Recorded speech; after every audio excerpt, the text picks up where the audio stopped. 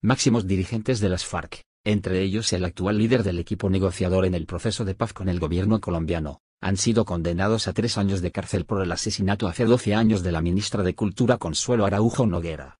Según informa AP, la sentencia fue pronunciada por Alfonso Tatis, juez tercero penal del circuito de la ciudad de Valledupar, capital del departamento de César, a 655 kilómetros al norte de Bogotá. Entre los condenados figuran el ya fallecido Pedro Antonio Marín, alias Tiro Fijo, fundador en 1964 de las rebeldes Fuerzas Armadas Revolucionarias de Colombia, FARC, Rodrigo Londoño Echeverry, alias Timochenko y actual máximo comandante del grupo, y Luciano Marín Arango, alias Iván Márquez y jefe del equipo negociador en el proceso de conversaciones de paz.